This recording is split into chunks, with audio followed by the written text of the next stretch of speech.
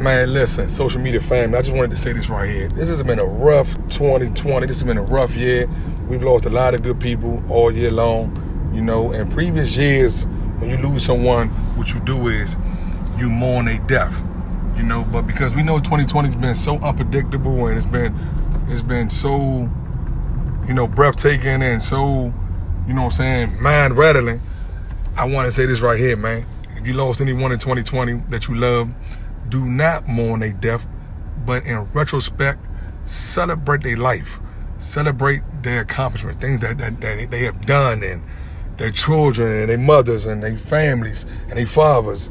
So just take that with a grain of salt, man. Try to look at everything the glass is half full or empty, whatever one come to your mind. Just celebrate their life. No mourning any death in 2020. Let's celebrate life.